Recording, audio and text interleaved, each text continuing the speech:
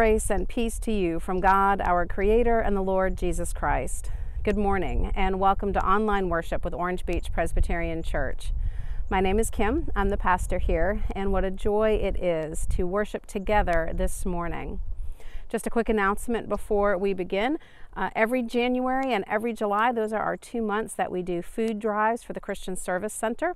So uh, we are in the middle of January. If you would like to donate food, I do have a plastic box, uh, one of those tubs, set up right outside the church office doors. You can come by anytime and drop your food in there. I'll empty it out every day and we'll collect all of the food. We will bring it to the Christian Service Center at the end of the month. If you would prefer to make a financial donation, also fine, that's wonderful. You can mail a check um, to the church, make the check out to the church. Just be sure to put CSC in the memo. Um, and you can mail that to our P.O. Box. Again, that's 306 in Orange Beach, um, right here in Alabama, 36561. You can also donate online. Go to our website, orangebeachpresbyterian.org, click the Give Now button, and just make sure in the notes section you leave a little note saying what portion of that um, is going to the Christian Service Center. And now let us prepare for worship with our call to worship. All of the words that you will need for today's service will be right on your screen.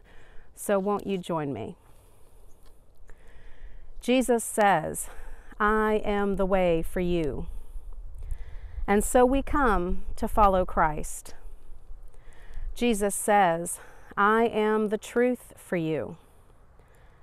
And so we come to dwell in the light. Jesus says, I am the life for you. And so we come, leaving behind all else to which we cling. Let us worship God.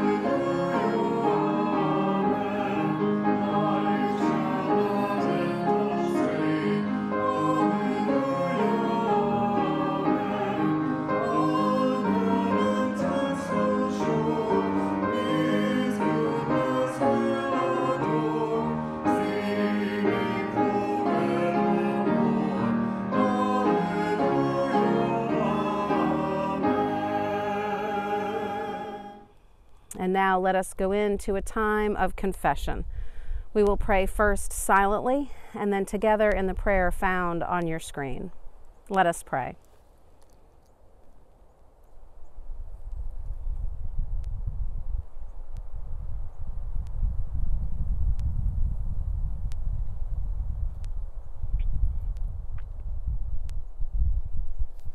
And let us pray together. Creator of the universe, we stand amazed at your power and glory. We are eager to worship you and offer our praise.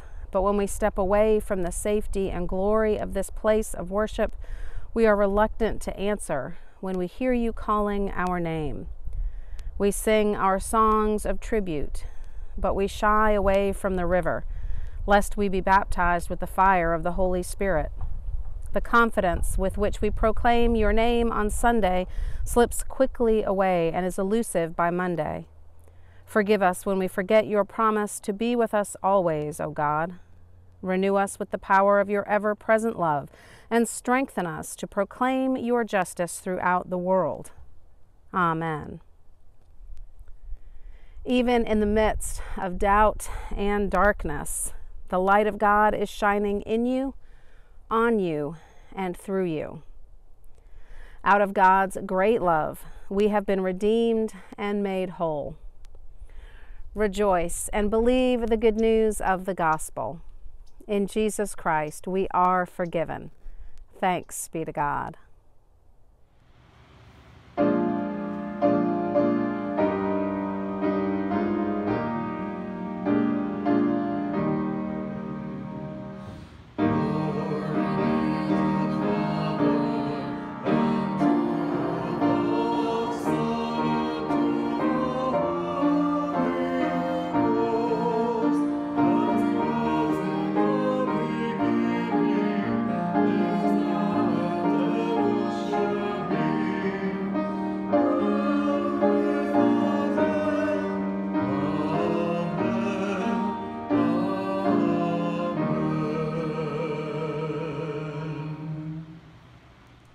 Before we hear God's written word, let us turn to God in prayer.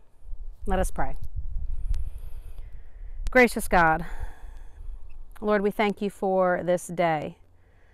After a turbulent few days, it is good to stop and worship you, give praise to you, hear and sing the hymns, hear the prayers, hear your word. Lord, we thank you for the technology that makes worshiping together possible, even in a time where we cannot gather together. Lord, we are always united in you. We are always joined because we are your family, and we thank you for that. And Lord, we just pray that you will fill us with your Holy Spirit, opening our ears, our hearts, and our minds, so that as we hear your written word, we will hear your voice and know what you have to say. We pray this in the name of your Son, Jesus Christ, as together we pray how he taught us. Our Father, who art in heaven, hallowed be thy name. Thy kingdom come, thy will be done, on earth as it is in heaven. Give us this day our daily bread, and forgive us our debts, as we forgive our debtors. And lead us not into temptation, but deliver us from evil. For thine is the kingdom, and the power, and the glory forever. Amen. Our scripture lesson this week is from the book of Mark, the first chapter, beginning with the fourth verse. And so John the Baptist appeared in the wilderness, preaching a baptism of repentance for the forgiveness of sins. The whole Judean countryside and all the people of Jerusalem went out to him, confessing their sins they were baptized by him in the Jordan River. John wore clothing made out of camel's hair, with a leather belt around his waist, and he ate locusts and wild honey. And this was his message After me comes the one more powerful than I, the straps of whose sandals I am not worthy to stoop down and untie. I baptize you with water, but he will baptize you with the Holy Spirit. This is the word of the Lord. Thanks be to God.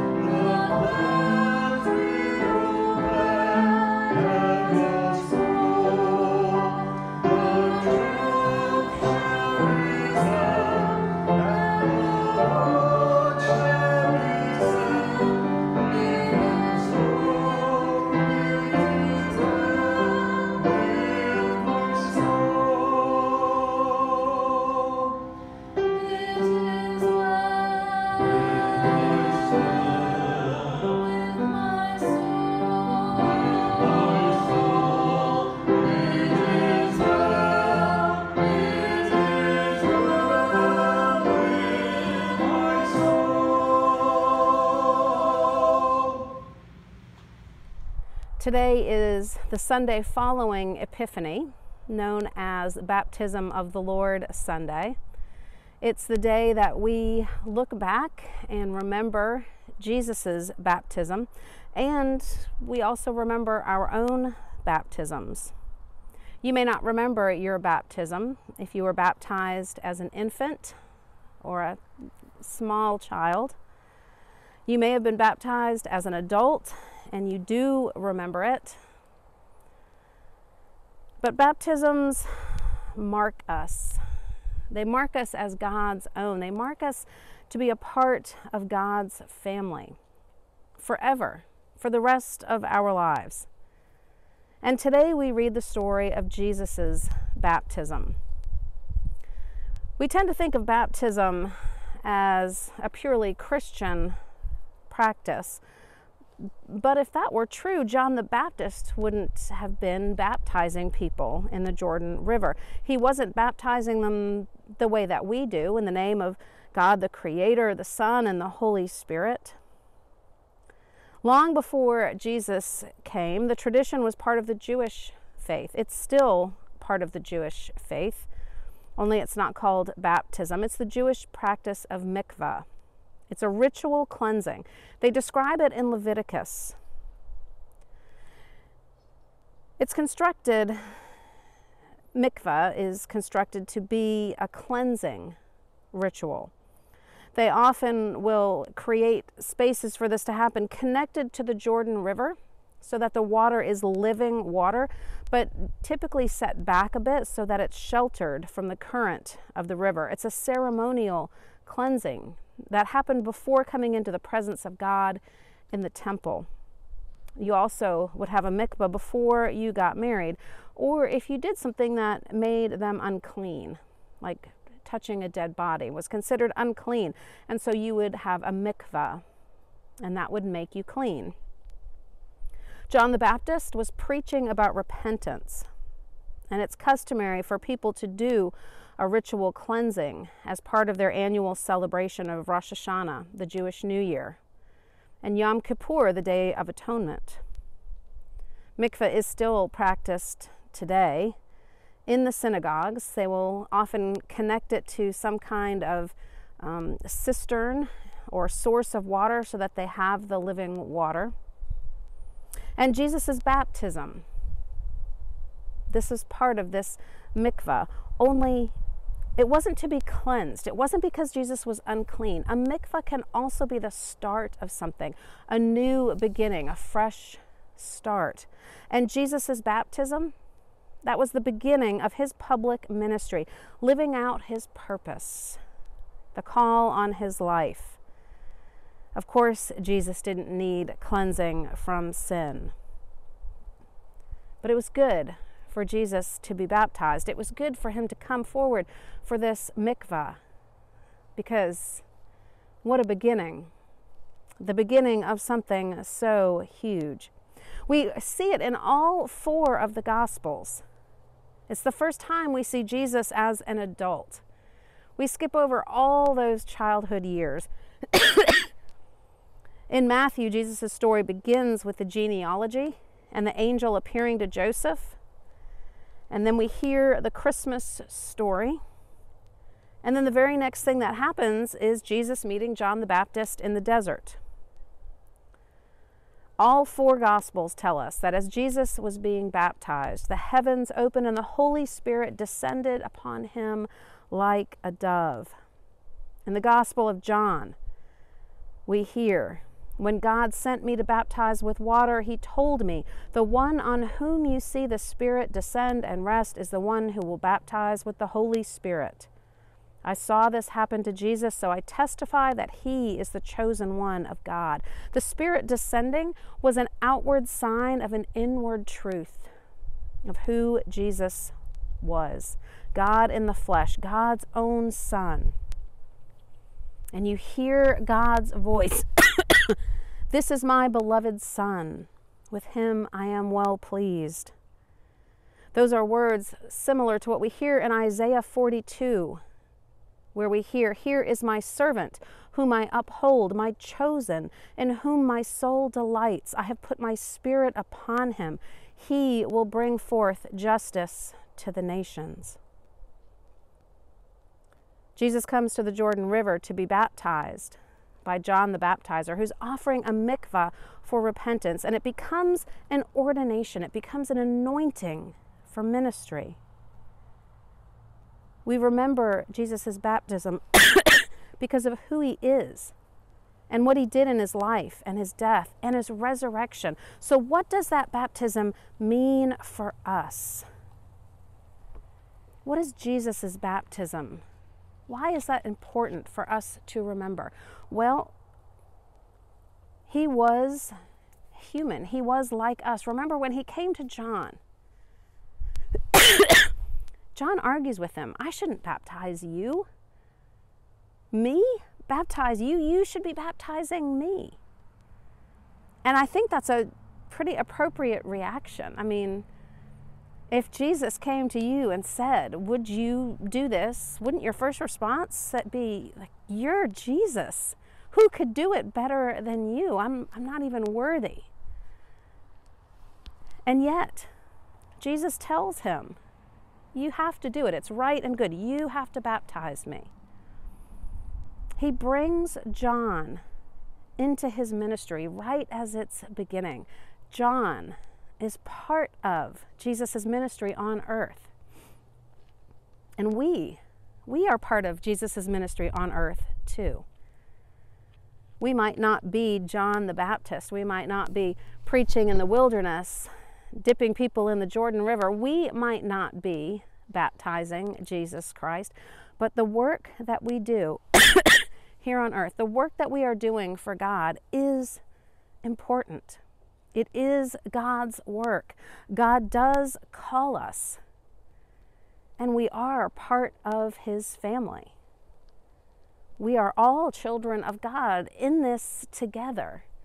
And I love I love the explanation of baptism when you're talking to, to kids. You always try to make it to where they can understand it. And, you, and, so you say baptism is like bringing you into the family. It's like when you get a new pet and you welcome it into the family, or when you get a new baby brother or sister and you welcome that baby into the family. And then forever and ever, they're yours, they're your family. And it's like that when we're baptized. We often have either water or the sign of a cross on our forehead. And it's because we are marked and sealed and part of the family of God, not just at that moment when we are baptized, but from that moment forward, forever and ever. God has claimed us. God wants us. And that's both exciting and humbling. I can understand John's point of saying, how on earth could I be worthy enough to baptize the Son of God? I mean, I get it. But God does call all of us to work and to work together and to work for the glory of God. And baptism does mark the beginning of our lives in the kingdom of God, living out our purpose and the call on our lives as people living in obedience to God. That's the commitment that we make when we take baptism vows or the vows that our parents took if we were baptized as infants. We take vows because baptism is a serious commitment. As the congregation, you take vows to help people in their spiritual walk, to raise up children together to be a part of the family of God. If you are baptized as an adult, you proclaim that Jesus is your Lord and Savior. You take this outward step and you are sealed forever, claimed by God. That kind of belonging is amazing. That kind of promise is binding. And just imagine Imagine being at the Jordan River when this was taking place, of knowing something big was happening, even if you didn't realize exactly what was happening or how big it was.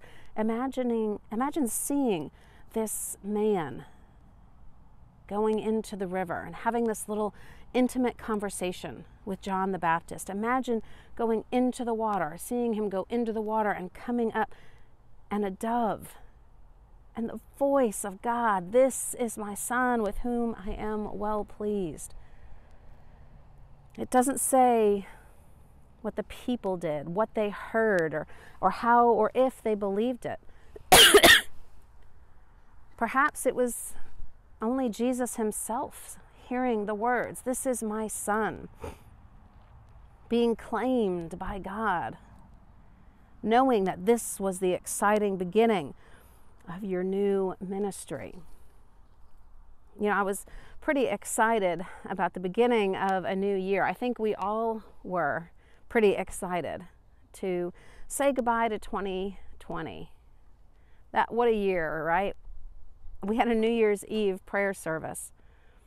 And part of the service was to say goodbye to 2020, to the bad things that had happened. So much. In our area, hurricanes, not just one hurricane, but more came behind it. The stress and worry of that, the damage, the wind and the rain from the hurricanes, the damage to the church, which is still being fixed the damage to the community. We talked about the global pandemic that hit in 2020, relatively early on. Back in March, everything just shut down. And so we looked back during that prayer service and we said, let's say goodbye to all of that. 2021 is going to be a new year. It's a fresh start. We talked about flipping that calendar page, having a brand new calendar, not, not been written in just fresh for our plans and our appointments, not knowing what will happen. Well, we've had one week of 2021. it's been quite a week. As somebody put it, um, this week has been a long month. Um, it has felt like a month, it has seemed much longer. We certainly had um, a chaotic uh, and disturbing and troubling start to 2021. So, um, one weekend, and I'm ready for another new beginning. I'm ready to start fresh again. I'm, I'm ready to uh, put some of this behind us, and we still have a ways to go before that will happen. We're still in the um, aftermath of uh, what happened in our capital, and, um, and it's going to be a struggle, and it's going to be painful, and I'm not loving the way this year has started out. The good news is every day is a fresh start. Every day we can remember our baptism. Every morning when we wake up, we can say, regardless of what unfolds today, good or bad, wonderful or disastrous or somewhere in between, we are starting fresh. Today is a new day. Today is a gift from God. I am God's child, claimed by God in my baptism. Every day can be a new start. and every day can be a new opportunity for ministry, a new opportunity to spread God's love, to share your faith story, to, to spread the gospel. You know, I have to wonder exactly how much Jesus knew coming into this. When he was 12 and his parents thought he was lost, and then they found him in the temple and he was teaching already? Did he know at 12 years old what his life would hold?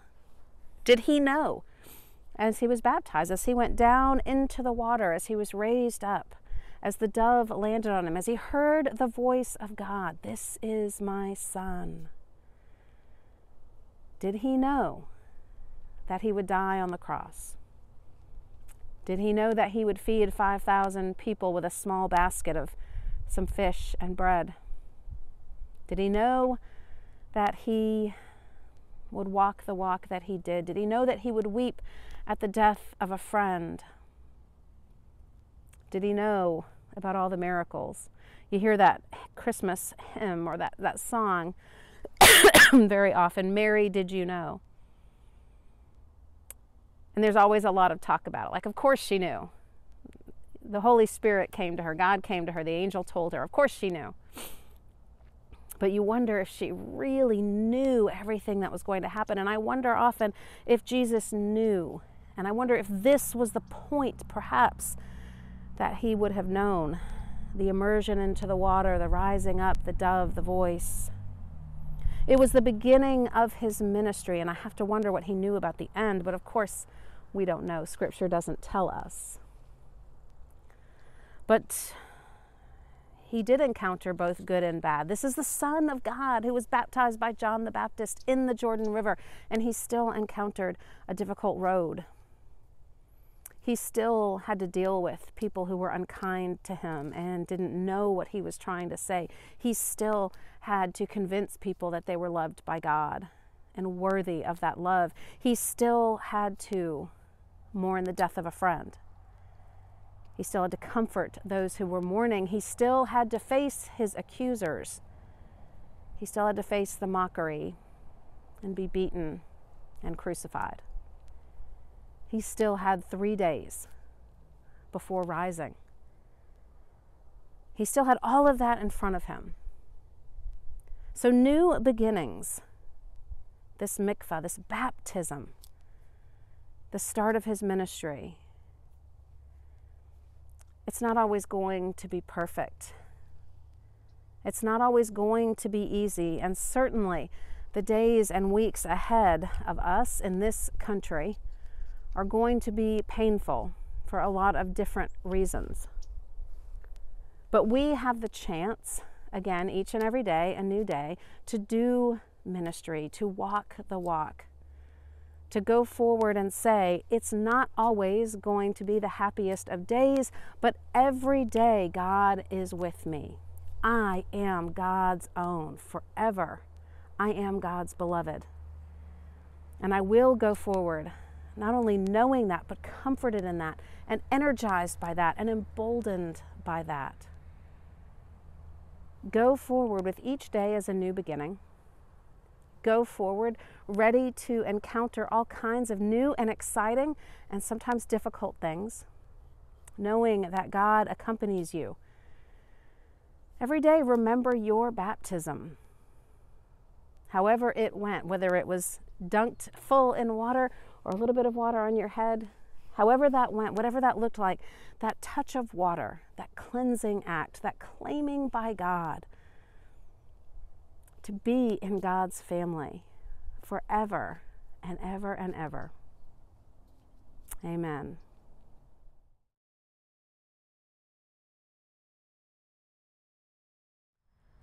Let us now pray for and with one another.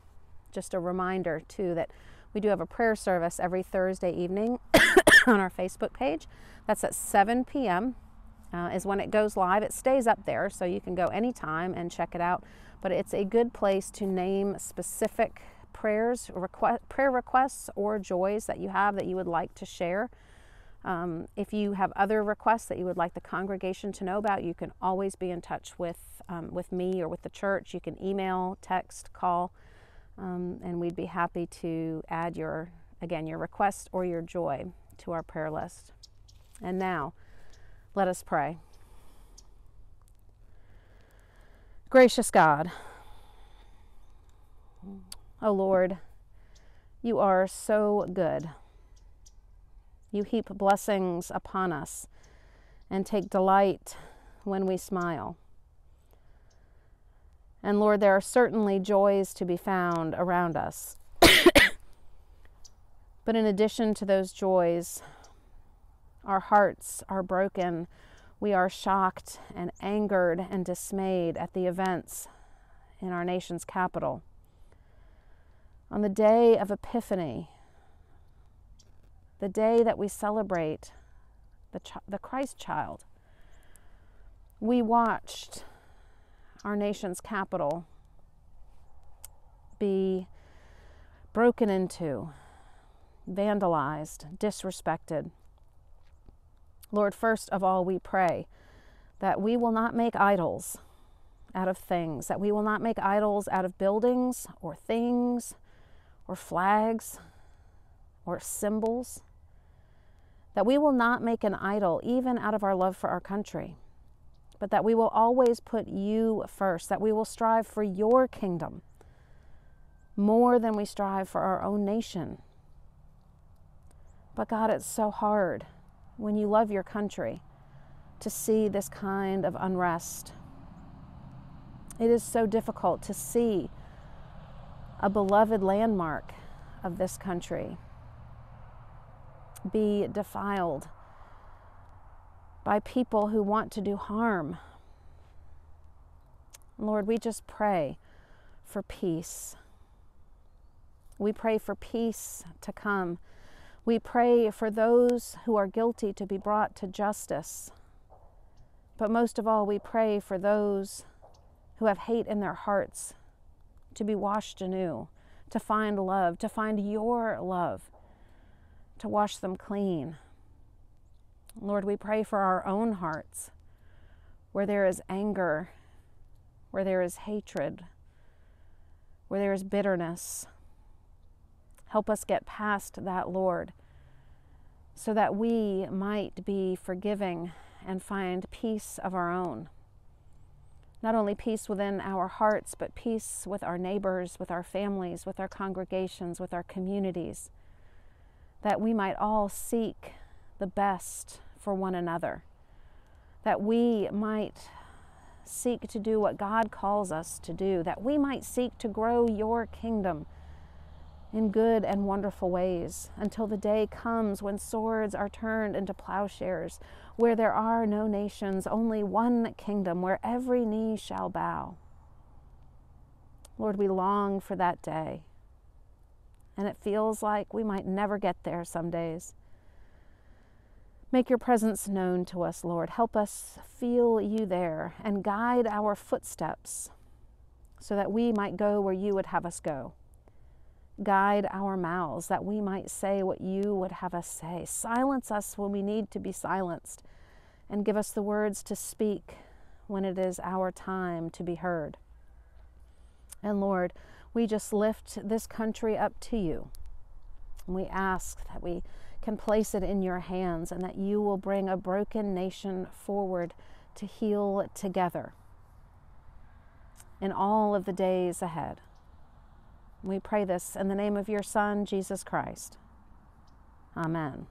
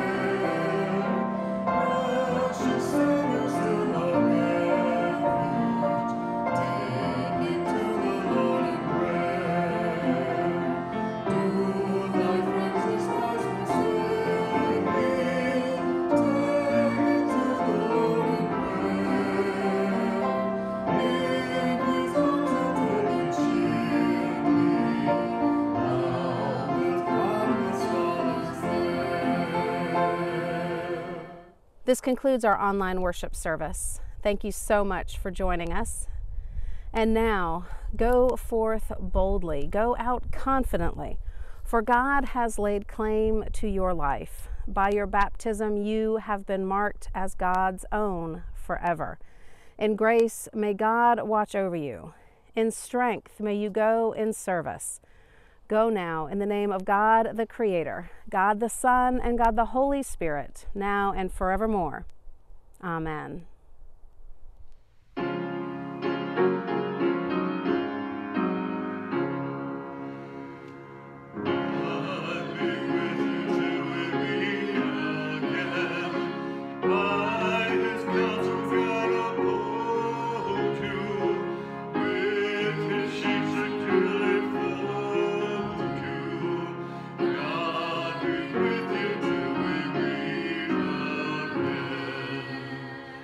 the children of the Lord said, Amen.